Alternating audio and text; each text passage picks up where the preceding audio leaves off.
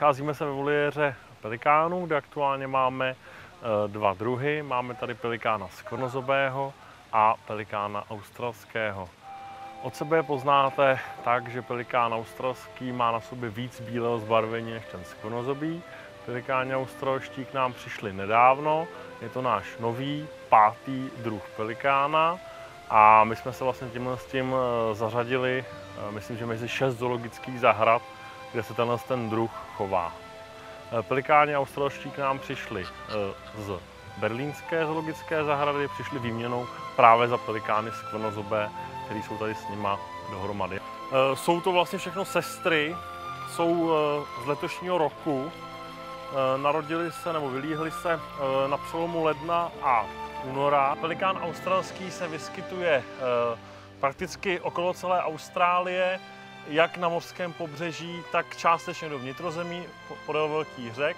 Kromě toho se vyskytuje i na přilehlých ostrovech, co jsou u Austrálie, jako je Tasmánie a spousta drobných ostrovků na severovýchodě. A potom jeho výskyt zasahuje až na Papou Novou Gvineu, kde se vyskytuje jenom mimo období hnízdění, tam nehnízdí.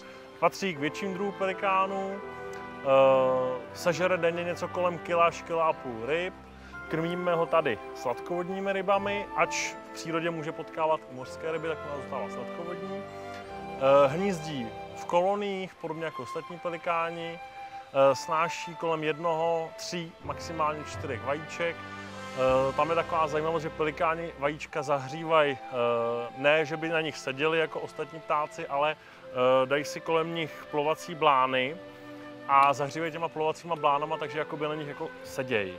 Já jsem zmínil, že máme teďka těch druhů pět. Máme pelikána bílého, pelikána kadeřavého, pelikána afrického, pelikána skvrnozobého, australského. Z těch pěti druhů čtyři druhy množíme. E, možná za zmínku stojí ten pelikán skvrnozobý, který tady s tímhle s tím australským je.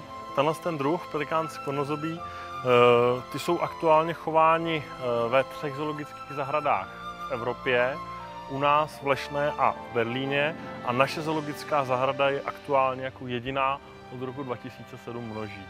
Když se podíváte nakonec toho zobáku na tu špičku, tak tím vlastně, když vás sekne, tak vám udělá poměrně takový šlic. A mají to hodně ostrý. Hodně návštěvníků si to neuvědomuje, ač teda tyhle naše pelikáni lezou někdy k návštěvníkům na cestu, tak oni se tváří jako velký kamarádi, ale pady se naštvou, tak je to nepříjemné.